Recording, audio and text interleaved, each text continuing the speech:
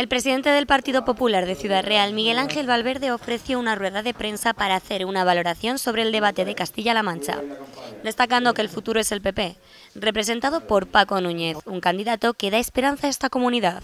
Por un lado vimos el futuro caduco, el de la inercia, el del conformismo, que es el que representa Emiliano García Paje, el candidato del Partido Socialista, y por otro lado un futuro de ilusión, de cambio, de oportunidades, un futuro de alianzas, que es el que representa a Paco Núñez, el candidato del Partido Popular. Según Valverde, los manchegos están cansados de promesas incumplidas y que aunque ahora quieran salvar el barco, ya es muy tarde por parte de la izquierda. Además, insistió en que se vea claramente que Paje no tenía propuestas, mientras que Núñez sí. Se necesita una oficina de captación de fondos europeos, afirmó el presidente del PP de Ciudad Real.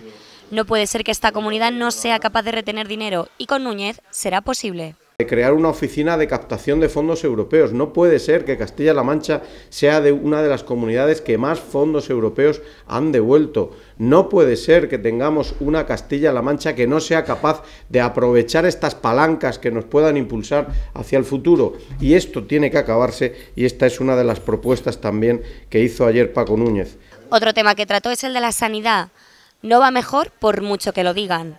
Esto debe cambiar, no se pueden tener listas de esperas interminables, afirmó. La educación no fue pasada por alto y Valverde aseveró que los niños cada vez tienen menos idiomas y más problemas para entrar en las empresas.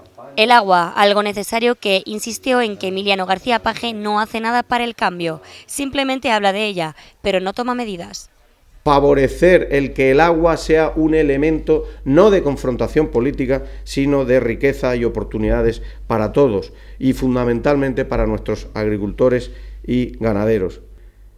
Paco Núñez lo dijo bien claro, si hay que elegir entre agricultores y ganaderos y ecologistas, se va a elegir entre agricultores y ganaderos. Y eso le tiene que quedar muy claro al conjunto de los ciudadanos de Castilla-La Mancha. Habrá algunos que no le guste, pero yo estoy convencido que a la inmensa mayoría sí que les va a gustar. Finalmente recordó a los manchegos que el debate dejó claro quién es el futuro de esta comunidad. A pregunta de los periodistas afirmó que está seguro de que los bolañegos sabrán votar bien y aunque no es a ciencia cierta, cree que los ciudadanos volverán a apoyarle. Estamos trabajando muchísimo durante estos días para tratar de concretar el trabajo que venimos realizando durante los últimos cuatro años y yo sinceramente creo que vamos a tener el apoyo mayoritario de todos los bolañegos para volver a revalidar la mayoría absoluta que tenemos en este momento. Eh, indudablemente soy humilde en el sentido de que vamos a esperar a ver qué, ocurre, pero estamos trabajando con esa intención. Y lógicamente, pues el resto de partidos pues están haciendo también lo, propio y están intentando también llevar adelante sus propuestas de la mejor manera posible.